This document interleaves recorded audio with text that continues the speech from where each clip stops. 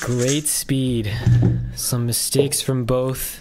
And Matty taking advantage of those last two by Tymon.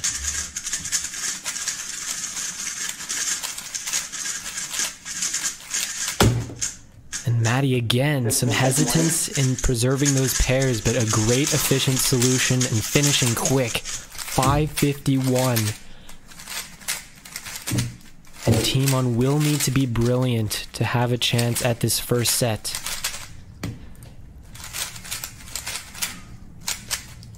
Eight seconds.